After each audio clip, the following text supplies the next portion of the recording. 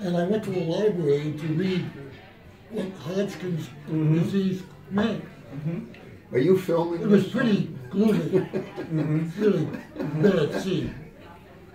My, my mother took me to the hospital to read and to get, be told what's going to happen. Right. And he said, well, they might have to give me full body radiation.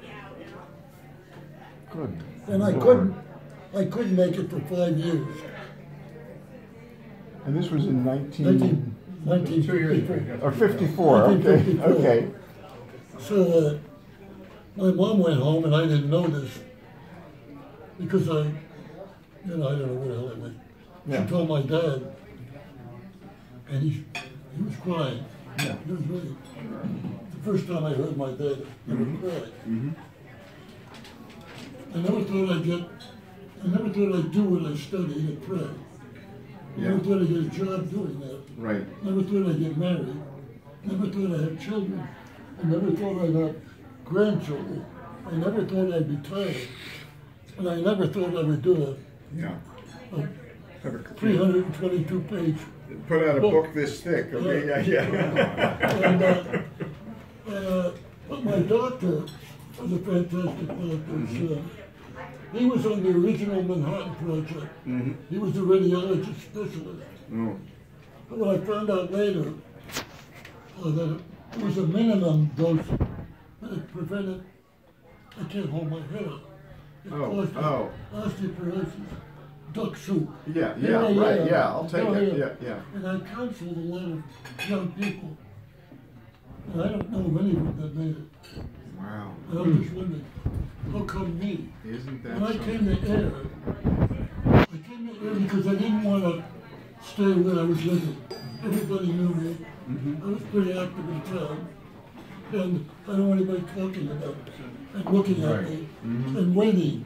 You'll see Yeah, this right. on So TEDx. I applied for a job You will see this on TEDx. at TEDx. Do you know what I that uh, site? No? and I never said anything. If you think of it, email me All the because time I was there. I'm They gave me actually joking. insurance, TEDx is which I uh, like a needed. lecture series. Yeah. But I'll put this on YouTube No, and no, I will send you I that. had lot of good innings. Yeah, I'll be- yeah, I'll be pushing, um, I'll be pushing eighty-eight. yeah, yeah, so let's see, so You know, this, yeah, you know, well, just out of- fifty-four. Just out of college, I say, Jesus, what a, what a bunch of innings, Yeah, what a yeah. fantastic life. I know, I You know. know, and every year, good faith choice. every year I thought about it. Is this the year? Is Yeah, this some- yeah, sure. Every time I got a pain, Yeah, sore yeah. throat, Right, back, you know, I said, that's it. But I'm ready. yeah, no, I'm yeah. ready. Yeah. But, uh, it was a,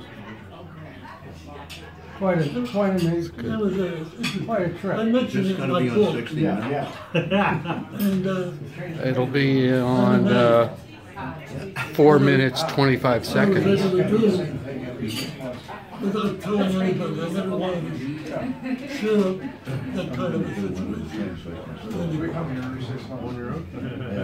That's my story. And I had a lot of fun doing stuff. That's right. Most of my stuff, the good stuff I did, I did some good stuff in there. But, um, I did, I, Terrific supervisor. great opportunity. Yeah, He was in my group. Who was that?